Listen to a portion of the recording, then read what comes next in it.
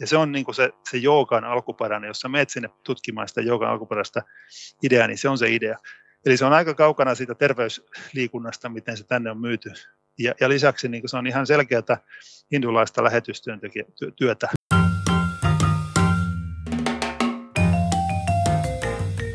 Moikka! Tervetuloa Kujalla podcastiin. Minä olen Heidi Martikainen ja tämän ohjelman toimittaja. Täällä puhutaan ajankohtaisista asioista ja teologiasta aika lailla viikoittain.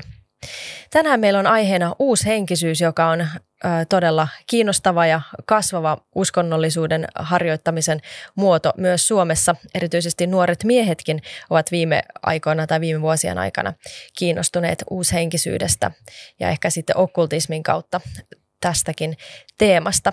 Vieraana mulla on tänään täällä ö, uushenkisyydestä kristinuskoon kääntynyt Sarastus Hietanen. Tervetuloa.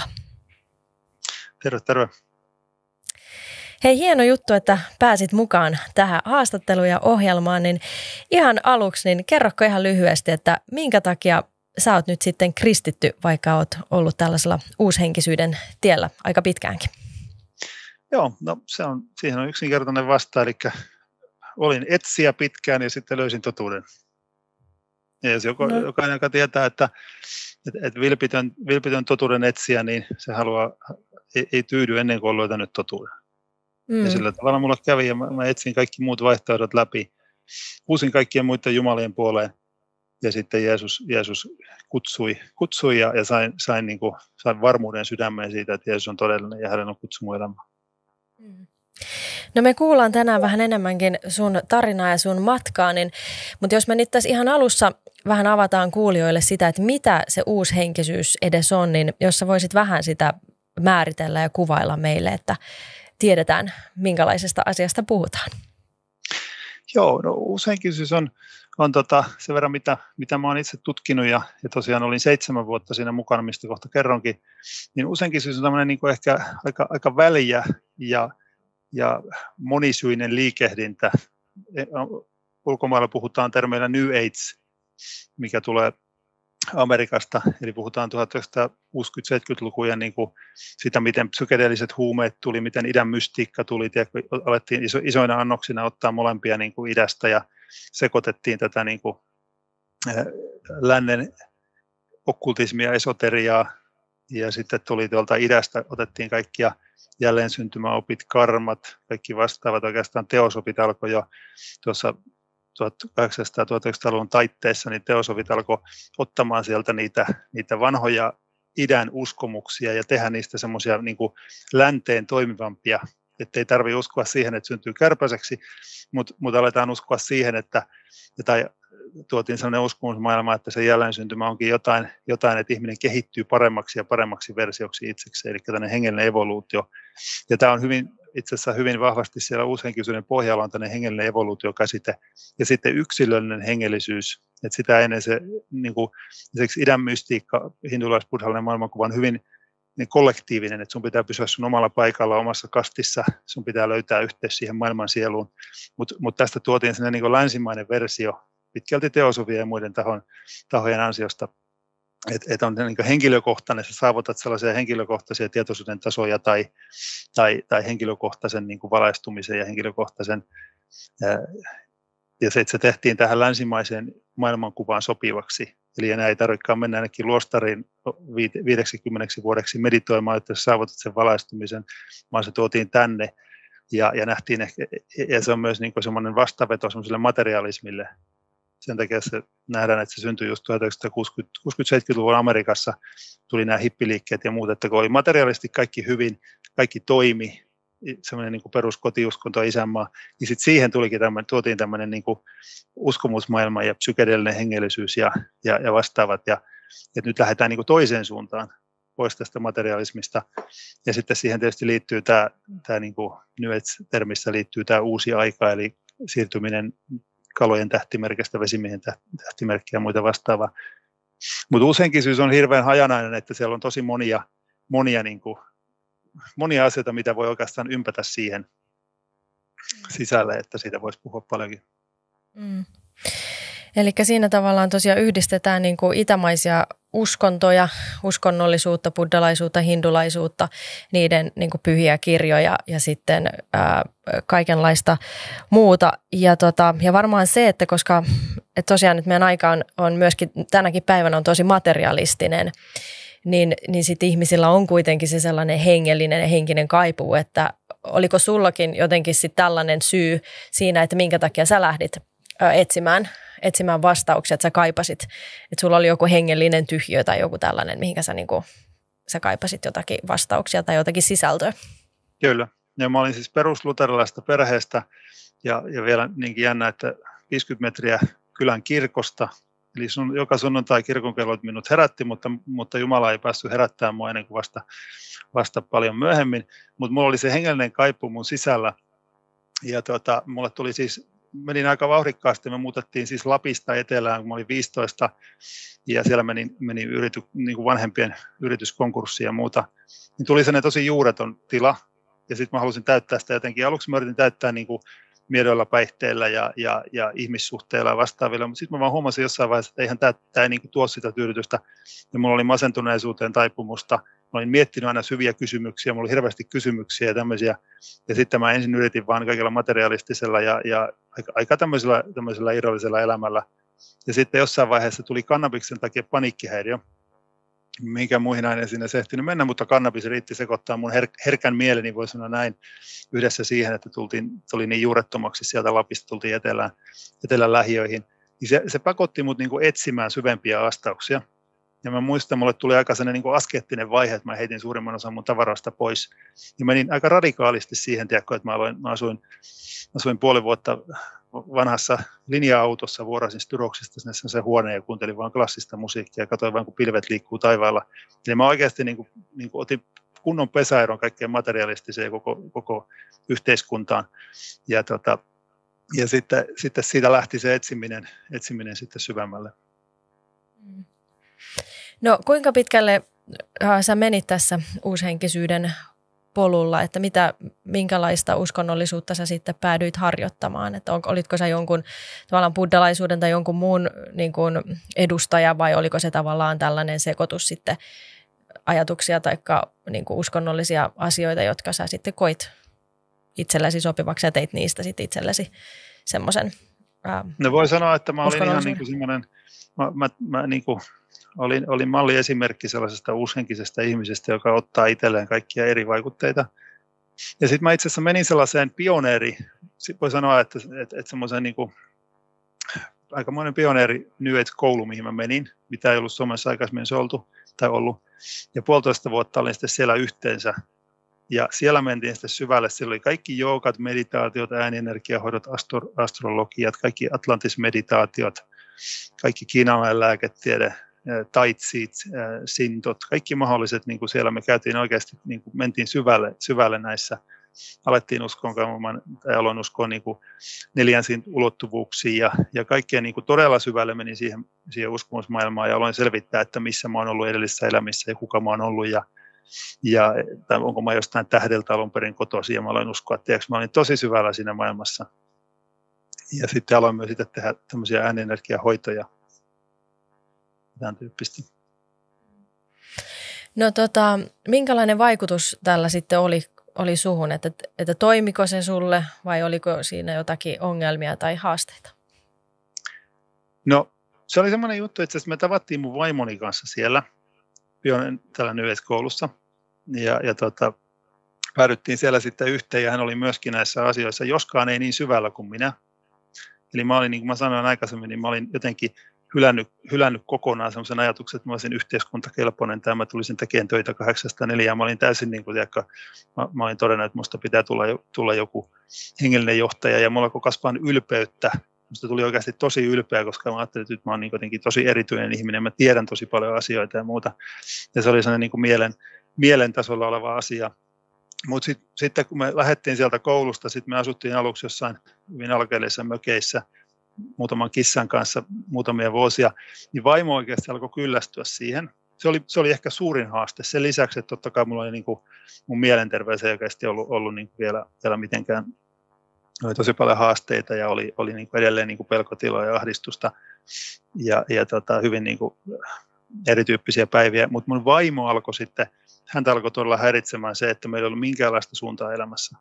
Ja sitten me oltaisiin väistämättä, me, meillä on niin avioero tulossa, että hän totesi, että hän ei vaan niin kuin kestä tätä idealisti, idealisti hippiä, hippiä, että ei tässä ole niin mitään, elämässä ei tapahdu mitään. Ja mä luulin koko ajan, mä odotin, että kohta tulee ihmisiä mun ovelle koputtaa, jotka haluaa mun äänienergiahoitoja tai, tai tiedätkö, näkee mun erimaisuuden ja mitään ei koskaan tapahtunut ja mitään ei, niin kuin, mikään ei mennyt eteenpäin.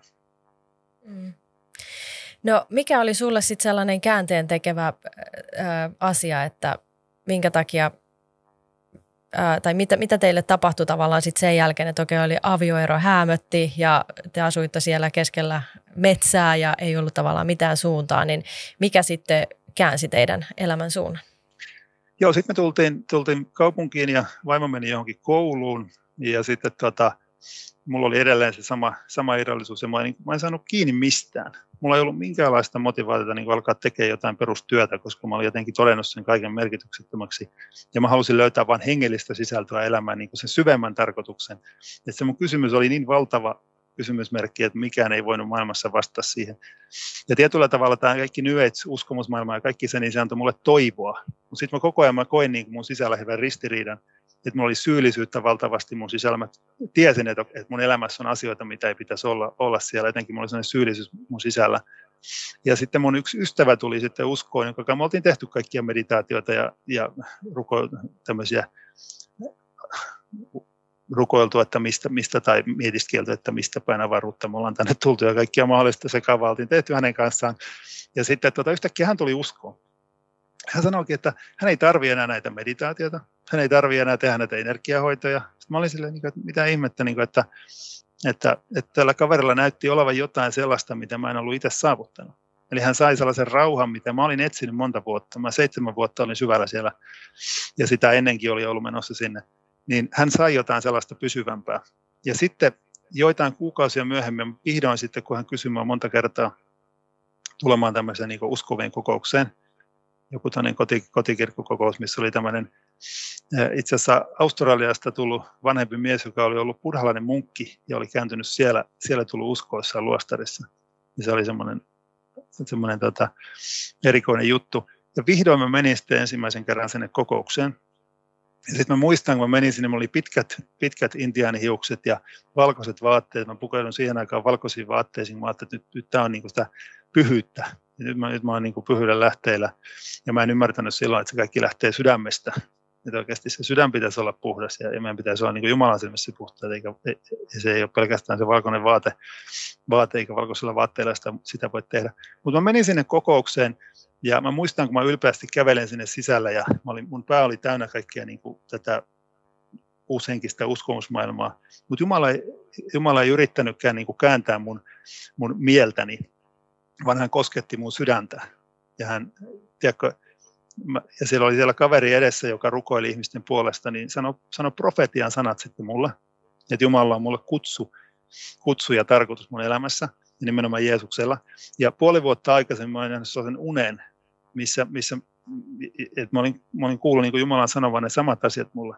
Ja sitten mä tiesin siinä hetkessä, ja mä tiesin, ja mä aloin itkemään, mulla vaan niin sydän murtui siinä hetkessä, että mä tiesin, että, että okei, Jeesus on todellinen se on vain sellainen asia, että kun sä tietämällä tiedät, että, että, että, että, että sinne, se ei voinut mitenkään olla yhteen sattuma, että tässä tapahtui jotain, ja siitä lähti oikeastaan se muutos. Mm. No jotkut ihmiset, jotka on ollut tällaisessa uushenkisyydessä tai näissä uskonnoissa mukana, niin sitten ne kertoo, että niillä on ollut tällaisia ehkä tosi synkkiäkin niin kuin hengellisiä koke- kokemuksia tavallaan niin kuin hengellisestä todellisuudesta, että on kokenut niin kuin todellisen pahan läsnäoloa ja, ja sellaista, niin oliko sulla tällaisia kokemuksia? No sanotaanko näin, että, että sitten me palattiin, sitten siinä tapahtui se, semmoinen asia, että tavallaan siitä lähti se muutos. Ja sitten me palattiin vaimon kanssa yhteen. Hän myöskin tuli uskoon siinä, koska hän näki, että jotain aivan yliluonnollista tapahtui, että mun, mun sydän alkoi muuttua ja musta alkoi tulla epäitsekkäämpi ja se oli ainoastaan Jeesuksen ansiota, niin hän tuli uskoon myöskin. Et sen jälkeen mä muistan, että oli tosi vaikeita, vaikeita niin kuin sanotaan, että ensimmäisen muutaman vuoden aikana, että me ei vielä löydetty oikein kunnon seurakuntaa, missä käydään, me käytiin vaan välillä kokouksessa. Että oli semmoista painostusta ja semmoista niin kuin tosi raskasta, että tuntui, että oli jatkuvasta hyökkäystä meidän elämää kohtaan ja hirveitä riitoja ja muuta. Ja sitten siinä vaiheessa oli jo, oli jo niin kuin lapsia tullut. Meillä on nyt, nyt neljä lasta, mutta silloin, silloin oli ensimmäinen toinen lapsi tulossa. Niin se oli semmoista jatkuvaa vääntöä ja se oli hyvin niin kuin, ainoastaan Jumalan armoa, että me pysyttiin oikeasti perheenä ja, ja, ja mentiin eteenpäin. Ja myöskin alettiin niin kuin käydä sitten seurakunnassa, lukea raamattua ja saada oikeasti kiinni niistä Jumalan lupauksista ja niistä asioista. Ja sitten saatiin myös vapautta, niin kuin sitä hengellistä vapautta, että kyllä mun mielellä kesti hetken aikaa, että mä sain niin kuin vapauden oikeasti, että mä pääsin niin kuin niistä henkivalloista irti ja että mun mieli tuli selkeäksi, että mä aloin uskoa, uskoa myöskin niin raamattuopettaa. Mm. No Jeesus on äh, persona, joka on myöskin uushenkisyydessä voi olla tavallaan ihan semmoinen suosittu tai hyväksytty henkilö, niin miten, mitenkä sä näkisit, että mitenkä Jeesus sitten nähdään uushenkisyydessä versus sitten kristinuskossa?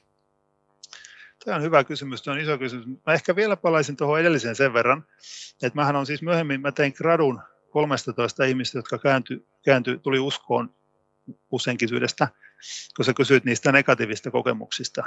Ja sen jälkeen mä oon siis lukuisia ihmisiä, jotka on pyytäneet rukousta sen takia, että ne on kokenut sitä henkivaltojen hyökkäystä, kun he on itse mennyt avaan ovet nimenomaan uushenkisyyden kautta. Mä ehkä vielä tuohon palaan, palaan vielä lyhyesti.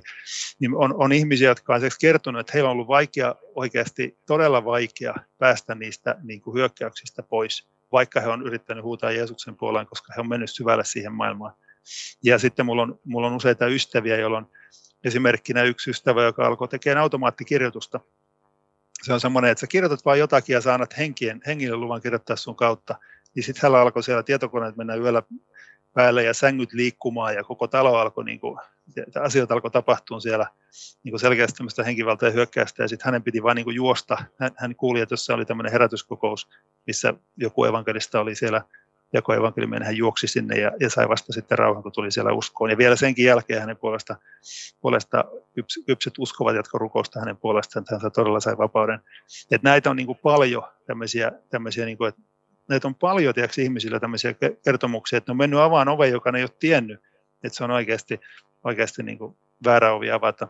Ja sitten ne on vasta saanut, sitten ne on lopulta huutanut Jeesuksen puoleen ja sanoo Eli tavallaan hengel, hengellisessä maailmassa tai hengellisessä mielessä avannut niin kuin oven jollekin uskomukselle tai ajatukselle tai rukoillut jotakin tahoa hmm. ikään kuin ja sitä Kyllä. kautta sitten. erilaisia energiahoitovihkimyksiä. Siellä on vihkimykset taustalla reikihoidoissa, sun pitää tehdä tötty vihkimys, sun pitää niin kuin, sä, sä antaudut jollakin energialla, jollakin energialle, eli hengille siinä, että sä teet niitä asioita. Me tehtiin energiahoitoja reikissä ihan samalla tavalla. Mä oon tavannut naisen, naisen, joka meni Egyptiin pyramidin vihkimykseen, ja Jeesus ilmestyi hänelle, hänelle lentoasemalle ja sanoi, että, että, että mitä tahansa tänään teetkin, niin älä vaan mene sinne vihkimykseen, mihin ne muut menee, että pysyt niin kuin syrjässä siitä. Ja sitten ne meni jonnekin pyramidin sisälle, jossa on joku vihkimyskammio. Meille se on niin joku vanha hauta tehty tehty turhamaisten kuninkaiden vuoksi, mutta sitten sit hänen mukaansa se on oikeasti niin kuin vihkimyksiä varten ja tämmöisiä niin kuin hengellisiä tai niin kuin okkultistisia asioita varten rakennettu. Palataan siihen Jeesuksen ihan... tarinoita niin, kyllä. kyllä. Palataan siihen Jeesuksen ihan hetken kuluttua, niin vielä mä kysyisin liittyen tähän sen, että, että toisaalta sit monet ihmiset pitää tätä täytänä hölynpölynä, että se on sun mielikuvituksen tuotetta tai se on niin kun, sun mielenterveys on horjunut, että sulla on kaikkia tällaisia kokemuksia, että se ei niin voi olla niin mitenkään mm. todellista, että tällaisia mm. asioita voi oikeasti tapahtua, niin mikä sun käsitys asiasta on? No mä sanoisin siinä, että jos, jos sä tutkit historiaa, mä oon, mä oon siis myöhemmin opiskelin teologian maisteriksi ja senkin jälkeen siis mä luen jatkuvasti, tosi paljon luen niin kuin esimerkiksi kaikkia niin kuin pakanuuden historiaa ja esi, niin kuin esikristillistä historiaa Suomesta, Skandinaaviasta, ympäri maailmaa, niin, niin se mitä eri uskonnoissa on ollut, niin siellä on ollut aina se yhteys sinne henkimaailmaan. Eli jos jossain ei ole ollut sitä kristinuskon valoa, että on tuotu sanoma elävästä Jumalasta, joka antoi itsensä jotta me voidaan olla vapaita, voidaan olla suorassa yhteydessä, niin kuin Aatami ja Eeva oli paratiisissa, että he keskusteli Jumalan kanssa. Ei siihen tarvittu mitään monimutkaisia initiaatioita missään haudoissa tai, tai tiedätkö, niin, niin jos me katsotaan historiaa, niin joka puolella puhutaan siitä, niin kuin miten samanit ja noidat on ottanut henkiä sisäänsä. Se on, ihan, se on, ihan, se, se on näkyvillä joka puolella. Tai on uhrattu ihmisiä, uhrattu, uhrattu eläimiä. Se on joka kulttuurissa. Kun sä alat vähänkin tutkia historiaa, varsinkin eläinuhraus, esimerkiksi täällä esi on uhrannut poro, poroja, niin porojen verta seitakiville ja niitä on pidetty Jumalalla. Samanit on ottanut henkiä sisäänsä on saattanut harhailla puoli vuotta jossain tunturilla, yrittänyt totuttaa elämään niiden henkien kanssa. Ja se on ihan selkeä niin kuin tavallaan, se, on, se löytyy selkeästi joka puolelta, mitä se on. Ja sitten myöskin se, mitä monet lähetystyötekijät on kertonut. Mä muistan, kun yksi luterilainen lähetystyötekijä, joka ei millään tavalla, niin kuin, on millään tavalla niin kuin karismaattinen uskova tai, tai usk, niin kuin, tiedätkö, ei mitenkään niin kuin puhu mistään, mistään niin kuin tämmöisistä henkivalloista yleensä tai muuta, niin hän kertoi, että hän meni Afrikassa ja se oli semmoinen joku, oliko se nyt joku maasaiheimon naisia alkoi tulla uskoon ja sitten kasto heitä. Niin siinä hetkellä, kun ne kasto, niin niistä, niistä vapautui, että ne, oli sit, ne sai jonkun sen kohtauksen, mitä ne oli saanut, mikä oli niin kuin ongelma siinä kylässä, että ne naiset sai sellaisia kohtauksia, mitä, mitkä, niin, että ne, se tajuttomuus poissaolokohtauksia. Ja siinä hetkessä, kun se kasto, niitä naisia jossain puun alla, niin ne sai viimeisen kerran sen kohtauksen ja sen jälkeen ne ei enää ikinä saanut sitä. Eli jotain vapautui siinä hetkessä, kun ne tuli, tuli, niin kuin, tuli uskoon ja, tai, tai kastettiin. Eli, eli tämmöistä, on, tämmöistä joka puolella. Et, et, niin kuin on, et maailmassa on näitä, että se ei ole vain uushenkisyys, vaan se on joka puolella niin kuin eri uskonnoissa ja eri, eri alkuperäiskansojen uskonnoissa, että niihin on liittynyt niin kuin henkivaltoihin, vahva yhteys henkivaltoihin. Aivan. No, eli jos palataan sitten siihen Jeesukseen, niin mitenkä Jeesus nähdään sitten tällaisessa uushenkisessä niin kuin uskonnollisuudessa versus sitten kristinuskossa? Mikä siinä on erilaista? Joo, no siis uushenkisyydessä Jeesus on, Jeesus on, sanotaanko näin, että Jeesus on, koska hän on niin, niin voimallinen ja hänen opetukset ja hänen elämän esimerkki on niin voimallista, uskoi siihen, että hän on Jumalan poika tai, tai vaikka ei uskoisi siihen, tai vaikka ei uskoisi siihen, että hän kuoli meidän syntien puolesta tai muuta, Jeesus on niin voimallinen, että hän on myös mukana niin kuin useinkissa ajatusmaailmassa, jos sä katsot kaikkia ihmeiden oppikursseja tai urantia kirjaa tai muita, niin Jeesus on siellä hyvin keskeinen. Itse asiassa sanotaan, että Jeesus on äh, kanavoinut, tai monet, monet uskoo, niin kuin, että he kirjoittaa Jeesuksen kanavoimia kirjoja, ja tämän tyyppistä. Ja sitten useinkin syyssä nähdään, että Jeesus on yksi ylösnouseista mestareista, eli Buddhan ja, ja ja mitä näitä laotsuu tai mitä, mitä kaikkia, että he uskovat, että, se on, että Jeesus on niin yksi tämmöistä mestareista. Ja sitten uskotaan myöskin, että jokaisella meillä on niin mahdollisuus saavuttaa sellainen samanlainen mestaruuden taso, kun riittävästi syntyy uudesti ja riittävästi tiedätkö, kypsyy hengellisesti. Eli Jeesus on siellä sisällä, mutta Jeesuksen, se käsitys Jeesuksesta on täysin eri, mitä meillä. Aivan.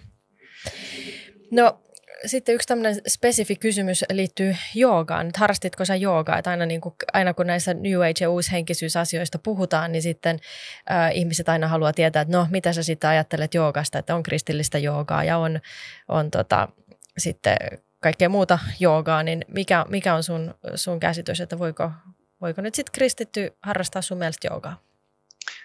Joka, joka on kiinnostava asia. asia tuota, kiinnostava asia siinä mielessä, että, että monet ihmiset ei tiedä, että mikä sen alkuperäinen idea on. Et itse asiassa hindulaisuudessa, jos sä meet sinne joukan alkulähteelle ja tutkit sitä, niin joukahan siis, ne liikkeet on niin jumalanpalvontaliikkeitä. Mutta sen lisäksi niin, niin joukassa on alun perin ollut, ollut niin pyrkimys poistua tästä maailmasta. Eli koska hindulaisille tämä maailma on maija eli harha, niin he, he uskovat, että, että, että me, lopulta se kaikkein pyhin tila, mitä maan päällä voi olla, on se, että on mahdollisimman vähän täällä maan päällä, että saavuttaa sen transsin kaltaisen tilan, missä sun ruumiin tarpeet ja aineenvaihdunta on minimissä. Ja se on niin kuin se, se joogan alkuperäinen, jos sä menet sinne tutkimaan sitä joogan alkuperäistä ideaa, niin se on se idea. Eli se on aika kaukana siitä terveysliikunnasta, miten se tänne on myyty. Ja, ja lisäksi niin se on ihan selkeää hindulaista lähetystyötä mun, mun näkökulmasta, joten ihan sama kuin veisi, veisi niin ehtoollispöydän tuonne Intiaan ja kertoisi, että sanokaa meidän perässä isä meidän rukous. Ja se on ihan sama, mitä joukassa tehdään, että toistetaan mantroja, joista ei tiedetä, mitä niistä tulee, ei tiedetä, mitä niissä, mitä niissä mantroissa puhutaan. Ja me tiedetään, että meidän sanoissa on voimaa, niin kuin Raamattu puhuu. Ja, ja sitten tuota, että et tavallaan niin kuin se on myyty, myyty se asia niin kuin terveysliikuntana. Ja sitten on kuitenkin eri asia se, että sä venyttelet tiedätkö, tai teet fyysisiä harjoituksia tai muita. On monia tapoja venytellä, on monia tapoja tiedätkö, käydä kuntosalilla, liikkua, juosta, urheilla. Ja sitten lisäksi vielä siinä on se, että, että joogassa on se ajatus siitä, että kun sä teet fyysisiä liikkeitä, sä saat hengellistä siunasta siitä. Mutta raamattu, kun me luetaan raamattua, kun me ymmärretään, miten Jumala tekee pyhän kautta, sanan kautta, niin me ei tarvita mitään liikkeitä saavuttaaksemme hengellisiä asioita. Ja se on niin semmoinen iso, iso osa, mikä liittyy joukaan, eli on se hengellisyyden harjoittaminen, että se ei ole vaan, hindulaiselle se ei ole koskaan vaan kehollista liikettä, vaan se on aina siinä liittyy se hengelliset pyrkimykset. Mm. No, eli mä en, kristillinen... jotenka mä en näe, että, kristi, niin kuin, että voi olla kristillistä joukaa, mm. sanotaan näin. Eli se, että koska sitten ehkä kristillisestä joogasta puhuttaessa ajatellaan niin, että, että on vaan niin kuin tiettyjä liikkeitä, mutta sen kaiken, niin kuin, että sä kohdistat sun ajatuksesi ja sun rukouksesi, rukouksesi Jeesukseen ja, ja käytät raamattua siinä niin kuin ikään kuin mietiskelyssä tai sun ohje, ohjenuorana, niin, niin sitten se on tavallaan se on kristillistä, koska sen sisältö on niin kuin kristillistä, niin, niin sun mielestä tämä nyt sitten ei kuitenkaan riitä. No ensinnäkin se, että minkä takia sen nimeksi on, niin pitäisi laittaa jooga, että ketä tavallaan niin sillä yritetään miellyttää. Et, et jos ajatellaan, että joku, joku pappi ajattelee, että no hei, laitetaan jooga pystyyn, koska jooga on suosittua, että me saadaan tänne lisää ihmisiä seurakuntaan. Niin mä sanon silloin, että lait, laittakaa, niin kuin, että, että kyllä Jeesus vetää ihmisiä seurakuntaan, kyllä Pyhänkin vetää ihmisiä seurakuntaan, kun Pyhänkin antaa siellä liikkua siellä seurakunnassa, joku Jumalan sana, sana jaetaan. Ja se on se, mikä on, kun mä olen tutkinut näitä ihmisiä, jotka on tullut uskoon, myöskin oman uskontulotarinan lisäksi, niin se on lopulta se Jumalan rakkaus, mikä vetää ihmisiä. Ei se ole se, että nimetään jotain hindulaisia metodeita kristillisiksi, joka vetää ihmisiä puoleensa. Ja se on kuitenkin se, mitä kirkko haluaa tehdä, tai kirkot haluaa tehdä, jotka, jotka ottaa joukan ohjelmistoon. On se ajatus, että saadaan vedettyä ihmisiä lähemmäs. Mutta kyllä Jeesus tekee sen. Siihen ei tarvitse joukaa. Mm, no, tota, jooga on nyt ehkä yksi tämmöinen esimerkki siitä, että miten tällainen uushengellisyys voi, voi sitten olla, olla myös niin kuin kristillisessä kirkossa tai kristillisissä kirkoissa jotenkin läsnä, niin nyt kun sä tuut tuollaisesta maailmasta, että sä oot ollut itse niin kuin uushenkisyyden harjoittaja, niin mitä sä näet, että, että on, onko meillä niin kuin kristillisyydessä nykyään jotenkin tällaisia, ollaanko me omaksuttu jotakin uskomuksia tai jotakin asioita sieltä uushengellisyydestä joita meidän ei ehkä, josta meidän niin kuin, tulisi olla jotenkin tietoisempia? Hmm. Tämä on hyvä kysymys. Mä listasin tuossa muutaman asian. Eli jos me ajatellaan, että standardi on niin kuin apostolien tekojen seurakunta, tai jos standardi on niin kuin seurakunta, jossa, jossa uskotaan, että pyhähenki, pyhähenki saa liikkua ja uskotaan rukouksen voimaa ja uskotaan siihen, otetaan se sana, sana tosissaan, niin muutamia asioita on semmoisia, mitä mä selkeästi yhdistän ei pelkästään niin kuin vaan myöskin niin kuin idän mystiikkaan. Eli siihen, siihen tietyllä tavalla siihen sisäänpäin kääntymiseen.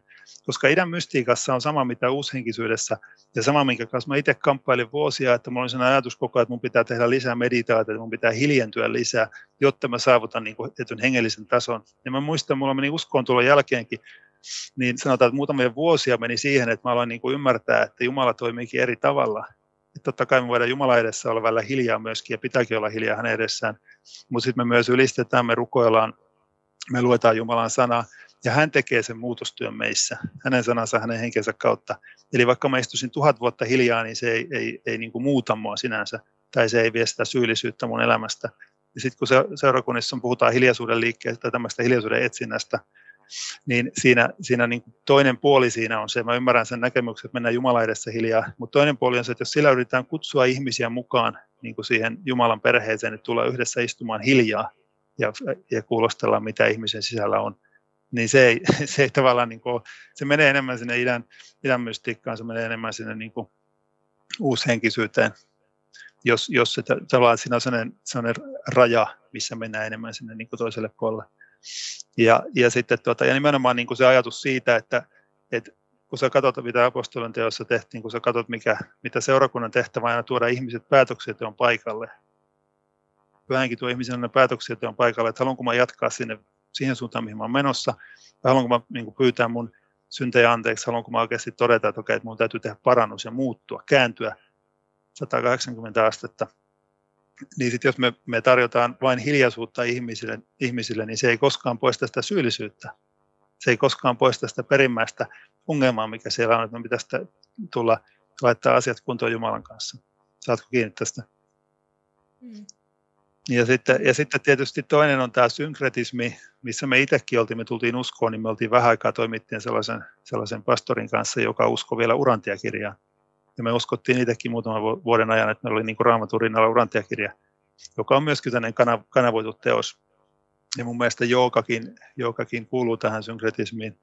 Katolinen kirkkohan teki aikanaan, kun ne teki lähetystyötä niin kuin Etelä-Amerikassa, ja huomataan, miten se synkretismi ei todellakaan onnistu pitkällä juoksulla, vaan että sitten sinne sekoittuu koko ajan niin maalataan, maalataan pääkalloja ja, ja, pidetään jotain kuolemankulttia siellä, ja sitten ajatellaan, että tämä on, on, niin kuin, on kristillistä.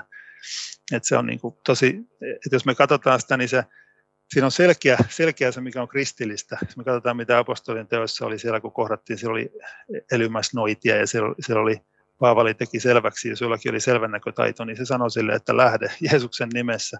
Ja sitten se selvännäkötaito lähti ihmisistä. Eli siellä oli niin kuin selkeä se, missä se menee se kristillisyys ja missä menee, menee se uushenkisyys, missä menee se niin kuin sen aikainen vanha pakanainen henkisyys. Efesossa poltettiin taiku, taikakirjoja, ei niitä jätetty raamatun rinnalle tai, tai kirjoitusten rinnalle. Ja sitten on, sitten on kolmas asia, mä sanoisin, että ylipäätänsä uskonnolliset traditiot ilman Jumalan voimaa. Että se, että, että se on niin kuin, että toistetaan pyhää riittiä. Mun mielestä se menee tietyllä tavalla siihen niin uushenkisyyden ja idänhenkisyyden kategoriaan. Että jos ei Jumala anneta olla Jumala, vaan toistetaan jotain riittiä, he, heilutellaan jotain asioita, asioita jotka, tai, tai suudellaan jotain asioita, mitkä, mitkä on pyhiä esineitä tai muita, niin mun mielestä se menee, menee tietyllä tavalla sinne. Ja sitten tuota, universalismi on sitten tietysti yksi asia, että kun me kadulla tehdään paljon, kohdataan ihmisiä, mä kohtaan paljon rukoilen ihmisten puolesta ja ihmisten kanssa, niin monet sanoo, että monet ei enää ymmärrä, että on oikeasti, että mitä se raamattu sanoo, että on yksi tie pelastua? Että sitä ajatellaan, että on kaikki monta, monta tietä, jotka vie samaan paikkaan. Että myös monia uskovia tai monia kristityksi itsensä mieltäviä, jotka uskoo universalistisesti, ne ajattelee, että kaikki tiet vie samaan paikkaan. Mun mielestä somessa ei ole niinkään, sitten on vielä tietysti semmoista, voi, voi olla niin kuin ehkä Amerikassa ehkä enemmän sitten joissain piireissä on sitä äärikarismaattisuutta, mikä, missä ajatellaan, että on niin kuin mutta mä en ole Suomessa siihen niin törmännyt. Et ehkä, ehkä, sana, ehkä jossain sen huomaa siinä, että on tietty semmoinen, niin kuin, että, uskovat tulee koko, kokoontua vain fiilistelemään, eikä, eikä siinä niin kuin tavallaan tule lopulta mitään hedelmää. Että tullaan, tullaan niin kuin harjoittelemaan profetointia joka lauantai, mutta ei jaeta evankeliumia kellekään tai tulkitaan unia, mutta ei, mutta ei tavallaan niin kuin edistetä Jumalan valtakuntaa, että tämän tyyppistä. Ylilyöntejä voi olla jossain niin kuin ehkä taas niin helluntai-karismaattisellakin puolella voi jotain ylilyöntejä joskus olla tai muuta, mutta mä en näe Suomessa sitä niin kuin hirveän isona haasteena. Ja sitten se, mikä niin kuin kuitenkin on tärkeää niin kuin ymmärtää, että että, että Jumalan voima on aina suurempi, että Jumala myös haluaa, että, että me, me saadaan, että, että Jumalan läsnäolossa voi tapahtua, että jos me katsotaan herätysten historiaa, niin mikä mua välillä ihmetyttää, kun mä katson ihmisiä, jotka on tullut uskoon niin kuin uushenkisyydestä, niin saattaa tulla hyvin lakihenkisiksi tai, tai niin kuin fundamentalistisiksi siinä, että, mikä, että jos jossain vähän naurahtaa kokouksessa tai jos jossain tiedä, Jumalan voima, voima koskettaa ihmistä, niin sitä ajatellaan, että onko tämä nyt sitten, onko tämä nyt sitten sitä kundalini-energiaa tai muuta, niin kuin tiedätkö, mikä on ihan, mä ymmärrän niin kuin sen huolen siitä, että totta kai pitää, pitää olla tarkkana. Mutta kun mä olin ja mitä mä oon niin tutkinut ja seurannut, niin se on hyvin totista suorittamista siellä. Jos siellä soitetaan jotain, jotain hindulaisia soittimia kaavut päällä, niin sekin on hyvin semmoista, tiedätkö, että suoritetaan ja sieltä, sieltä on niin oikea todellinen ilo ja vapaus kaukana. Eli sen, sen, se, että seurakunta on täynnä iloa ja vapautta, niin se on, se on jotain ihan muuta.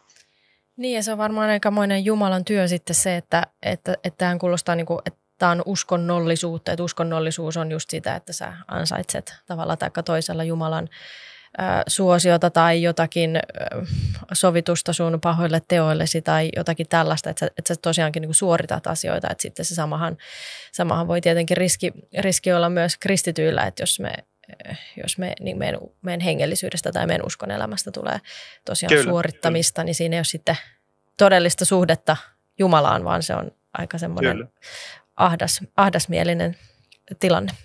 Se on totta. Se on totta, että silloin ei ole, niin kuin sit, että se vapaushan on kuitenkin se, mikä, jos me katsotaan evankeliumissa, jos me katsotaan raamatussa siellä, siellä miten sieltä rampa lähti hyppien ja, ja pomppien ja ylistää Jumalaa, tiedätkö? mitä se tarkoittaa oikeasti, kun Jeesus koskettaa, tiedätkö? tai, tai toi, toi sakkeus, kun se kiikku puuhun, että se näkisi Jeesuksen, ja sitten Jeesus sanoi, että hei, tänään mä tuun sun luo muuten syömään. Ja sitten tota, ja sit Jeesus meni sinne ja sitten se sanoo, se, tiedätkö, hänen sydämensä suli. Se sanoi, että hei mä annan niin moninkertaisesti takaisin, mitä mä oon ryöstänyt. Tiedätkö, ja lahjoitan mun rahoista niin kuin suurin osan pois.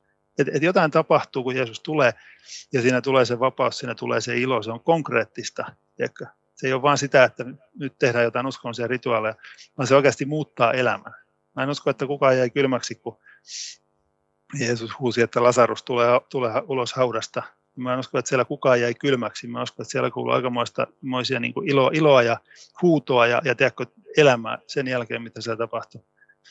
Ja, ja monet nämä Jeesuksen ihmeet, tiedätkö, ne saa ihmiset haukkoon henkeä ja huutamaan, huutamaan tiedätkö, kiittämään, niin kuin tavallaan huutamaan Jumalan puoleen kiitosta ja kiittämään Jumalaa, tiedätkö, että se on, se on elämää, se on sitä vapautta ja se on sitä todellista ja sitä mä en koskaan löytänyt uushenkisyydestä. Siellä oli vain sellaista valtavaa suorittamista ja totisuutta ja koko ajan piti pelätä, että tuoko joku jonkun uuden, uuden opin seuraaville hengen ja tiedonmessuille, mihin mun pitää lähteä, lähteä har- tekemään jotain ihan uusia harjoituksia, jotka onkin ihan uusia juttuja. Mm, niin kyllä. No nyt sitten vielä ihan lopuksi, niin tota, äh, monet ihmiset, jotka, jotka tätä katsoo, niin ehkä heillä on sukulaisia tai ystäviä, jotka on uushenkisessä ajatusmaailmassa mukana, niin mitä sä sitten sanoisit, että mitenkä kristittynä sit kohdata sellaisia ihmisiä, jotka on uushenkisyyden harjoittajia? Joo, no siis siinä on muutama asia, asia mitä mä, niin kuin mä sanoin, mä olen tehnyt gradun siitä, miten 13 ihmistä tuli uskoa, ja mä olen myös sen lisäksi keskustellut monien ihmisten, jotka on tullut sieltä niin tota, monethan tietysti, se on niin kuin hyvä ymmärtää, että me ei, me ei, niin kuin, me ei osoitella sormella ihmisiä, jotka jos uskoo tietyllä tavalla tai muuta, vaan että, että Jumala tiedätkö, rakastaa jokaista. Jumala rakastaa jokaista, Jumala haluaa, että jokainen on hänen lähellä ja jokainen tietää totuuden. Ja, ja monet etsii vilpittömästi totuutta ja monet haluaa tehdä hyviä asioita, jotka on niin kuin mennyt uushenkisyyteen. Ne ei ole ehkä löytänyt paikkaa seurakunnasta tai ne on vaan niin kuin, niin kuin tavallaan, tavallaan etsii sitä omaa paikkaansa ja siellä on monia vilpittömiä etsijöitä, niin niin tärkeää on niin rukoilla heidän puolesta, kutsua yhteyteen, tiedätkö, ja, ja antaa, antaa Jumalan koskettaa heitä. Ja, ja sitten myöskin se, että on tavallaan niin kuin, vaikka väljästikin olisi yhteydessä, mullakin on useampia ihmisiä silleen, että vaikka mä nyt en jatkuvasti niiden kanssa ole yhteydessä, mutta mä en ole tavallaan niin kuin tuominut heitä mihinkään. Mä oon jakanut evankeliumin, mä oon kertonut, että hei, tiedätkö, tiedätkö mitä Jeesus teki mun elämässä, ja, ja mä oon varma, että haluaa tehdä sen sun elämässä myöskin. Ja osa sitten, tuota, kun mä tulin uskomaan ihan rohkeasti aloin puhua Jeesuksesta, niin osa lähti, ei, ei ole näkynyt sen jälkeen näitä vanhoja ystäviä. Mutta en mä niin kuin tuominut ketään. Ja sitten on myös tullut sellaisia ihmisiä, että ne tulee myöhemmin pyytämään sitten, kun ne näkee sen hedelmän, hedelmän minun elämässä tai on nähnyt. Se, että mitä Jeesus teki minun elämässä, että mä oon saman vaimon kanssa naimisissa 18 vuotta myöhemmin neljä, neljä lasta.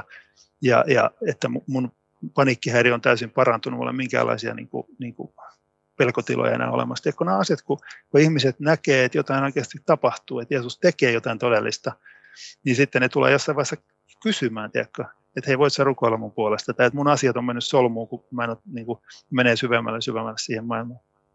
Että et tavallaan olla valmiina sille, että sitten sä voit liikkua, liikkua tiedätkö, Jumalan kanssa ja auttaa tätä ihmistä. Että tavallaan olla niin kuin, niin se on yksi asia. Ja monet, jotka tuolla tuli uskoon, niin kuin tuon mun gradu-tutkimuksen perusteella, niin monet, jotka tuli uskoon, ne kertoo, että mikä heitä eniten kosketti, oli se, että he näki sen pyyteettömän rakkauden kristityissä. Että he näki, että joku oli valmis auttaa heitä, vaikka oli heidän kanssaan täysin eri mieltä. Tiedätkö? Tai sitten, että he koki sen Jumalan rakkauden vaikka jossain rukoustilaisuudessa tai, tai sitten kun heille oli jaettu evankeliumi, niin Jeesus kosketti heitä ja he itse jossain huone, huoneessaan rukoili Jeesusta ja sitten Jeesus ilmestyi, ilmestyi tai kosketti heitä. Et tässä on niin kuin se. Ja sitten, ja sitten monien puolesta oli myös rukoiltu. Tämän Mm. Eli, eli sen sijaan, että sen sijaan, että me tingittäisiin totuudesta, niin me pidetään rohkeasti esillä sitä elämän sanaa, niin kuin Paavali sanoi, ja, ja annetaan sen näkyä ja jaetaan se evankeliumi rohkeasti. Mutta sitten kuitenkin me ollaan niin valmiita, valmiita, me rakastetaan ihmisiä, me, me autetaan, me sijoitetaan ihmisiä. Ja sitten joskus on se tilanne, että ihminen on innoissaan jostakin, niin, niin sä et saa sitä niin kuin kammettua, että sä saa sitä niin kuin sun miele, mielestäsi käännettyä, vaikka se kuka rakastaa tai haluaa auttaa sitä. Sitten pitää vaan laittaa rukouslistalle ja odottaa sitä päivää, että sitten eräänä päivänä niin ehkä, tai että joku toinen tulee hänen elämänsä ja ohjaa hänet uskoon. Mm. Sen tyyppistä. No niin, tässä oli hyviä, hyviä tota, ajatuksia siitä, että, että mitenkä sitten tota, olla, olla ystävä ja olla sitten läsnä ihmisille, jotka kenties ajattelee eri tavalla ja olla sitten todistuksena kuitenkin siitä omasta uskosta. Niin kiitos tosi paljon Sarastus, että kerroit sun omasta elämän kokemuksesta ja, ja näkemyksestä asioita, niin se on varmasti kaikille rohkaisuksi. Kiitos paljon. Kiitos Heidi. Kiitos sulle. Kiitos. Ja kiitos kaikille kuulijoille. Kiva, kun olitte mukana tällä kertaa. Palautetta tästä jaksosta voi lähettää osoitteeseen kujalla.podcast.gmail.com.